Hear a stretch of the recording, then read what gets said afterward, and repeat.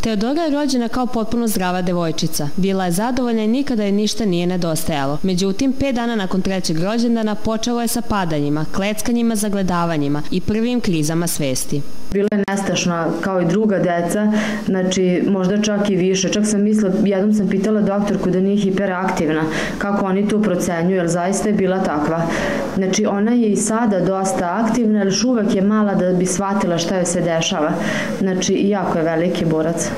Lekari su Teodoru lečili od epilepsije, ali se posumljalo na Batenovu bolest jer je imala šest različitih napada, što je bilo neuobičajeno. Kada su rezultati posle pet meseci stigli, bolest je postala stvarnost, a ovoj porodici svet se srušio. Ipak veruju da je otkriveno na vreme.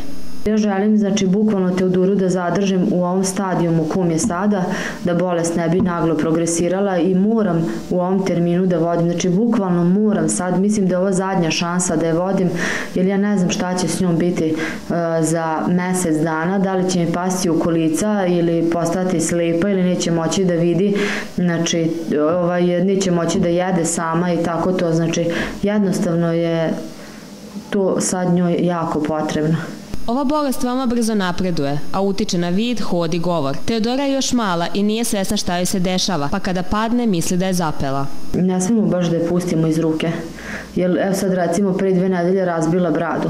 Znači to ona, ne pada ona stalno, ali je sve nestabilnija. To je znači bukvalno kao kad mi izgubimo ravnotežu, to tako izgleda i obično udara glavom ovaj, i pada nazad i tako uglavnom je glava ta koja snosi sve posledice. Kako bi bolest stagnirala, neophodno je da Teodora otputuje u Kinu na tretman matičnim ćelijama. Za ovo je potrebno izdvojiti 27.000 evra. Tu su ogromne pare za naša vremena i naša primanja. Znači jednostavno da sam štedila ceo život, ne verujem da bi uštedila od svoje plate toliki novac i ovaj, znači molim sve ljude koji su voljni, koji su dobre volje da nam pomognu da moju Teoduru sačuvaju na nogama.